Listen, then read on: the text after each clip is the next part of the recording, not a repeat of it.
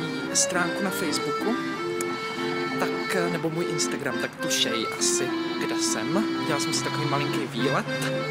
A protože a prostě miluju cestování.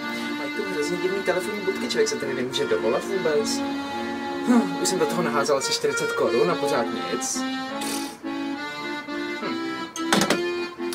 Ale jinak je to tady super.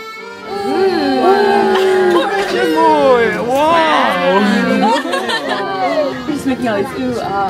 Bože, to je strašně vysoko. Wow! Miluju Paříž. Wow!